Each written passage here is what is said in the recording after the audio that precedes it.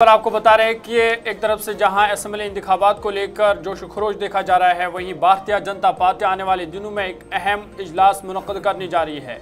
आपको बता दें कि सीईसी मीटिंग जो है और parliament board meeting Bharatiya Janata party की होने वाली है। तेईस अगस्त और चौबीस अगस्त को ये अहम इजलास होगा, जिसके बाद जो उम्मीदवारों की फहरिस्त है वो शाया की जाएगी उस पर हतमी फैसला लिया जा सकता है।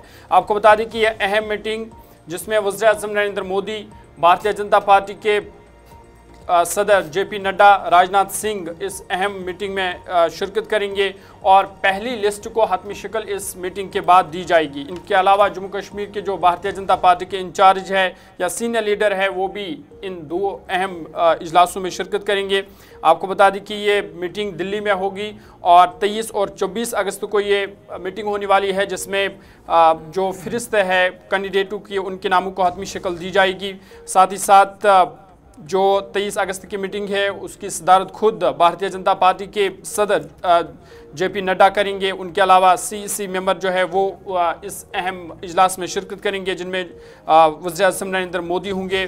साथ ही साथ जो जम्मू कश्मीर के इलेक्शन इंचार्ज बनाए गए राम माधव, वो होंगे, जी किशन रेड्डी होंगे जो मेंबर पार्लियामेंट है भारतीय जनता पार्टी के जम्मू कश्मीर से, डॉक्टर जितेंद्र सिंह और जुगल किशोर शर्मा, वो इस मीटिंग में शामिल होंगे। उनके अलावा तरुण चुग, आशीष सूद और भारतीय जनता पार्टी के जम्मू कश्मीर के सदर रविंद्र रैना समेत जनरल सेक्रेटरी, वो इस अहम इजलास में शिरकत करेंगे। और ये इजलास इसलिए भी अहम है क्योंकि जो असम्बली इंतबात के लिए उम्मीदवार है उनके नामों को हतमी शक्ल दी जा सकती है। शिल्पा शर्मा हमारे साथ ज्वाइन किए हैं। शिल्पा कल और परसों मीटिंग है और खबर है कि जम्मू कश्मीर की लीडरशिप को भी दिल्ली बुलाया गया है।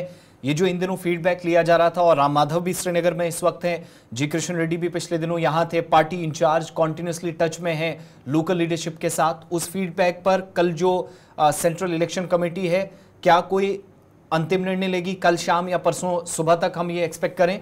कि बीजेपी के कैंडिडेट्स की पहली लिस्ट सामने आ जाए इस मीटिंग के बाद और क्या क्या स्ट्रेटजीज इसमें तरतीब दी गई हैं दिल्ली के अंदर?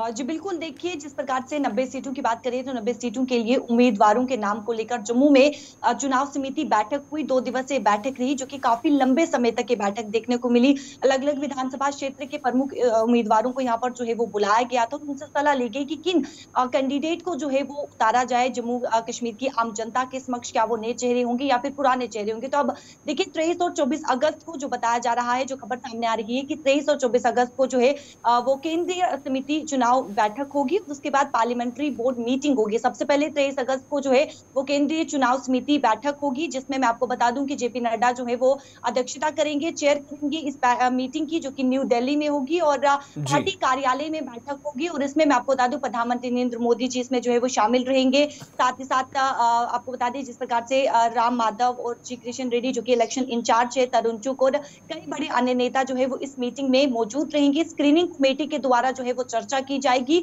और चर्चा करने के बाद 24 अगस्त को जो है वो पार्लियामेंट्री बोर्ड मीटिंग होगी और इस पार्लियामेंट्री बोर्ड मीटिंग में कौन कौन मौजूद रहेगा? मैं आपको बता दूँ प्रधानमंत्री नरेंद्र मोदी जी साथ ही साथ जेपी नड्डा जो कि बीजेपी प्रेसिडेंट है डिफेंस मिनिस्टर राजनाथ सिंह गृह मंत्री अमित शाह और कई अन्य बड़े नेता जो है वो इस बैठक में मौजूद रहेंगे। अंतिम रूप दिया जाएगा और चौबीस अगस्त को ही जो है वो सूची जो है वो जारी की जाएगी जहाँ पर जो खबर सामने आ रही है जो सूत्र बता रही है कि फ़र्स्ट और सेकंड फ़ेज़ के लिए जो है ये सूची जारी की जाएगी और थर्ड फ़ेज़ के लिए जो है वो आ, कुछ दिन के बाद जो है वो सूची जारी की जाएगी। लेकिन पहले आ, जिस प्रकार से यानी कि फ़र्स्ट और सेकंड फ़ेज़ में जो मतदान होने हैं उसको लेकर सूची जो है वो जारी की जाएगी और शिल्पा जिस तरह से आप बता रहे हैं कि इसके बाद जो है उम्मीदवारों की पहली फहरिस्त शाया होगी। तो क्या भारतीय जनता पार्टी असेंबली इंतबात के लिए जम्मू कश्मीर में किसी दूसरी पार्टी के साथ इतिहाद करेगी या सोलो वो असेंबली इंतबात में जाएगी? इस हवाले से कोई फैसला लिया गया है?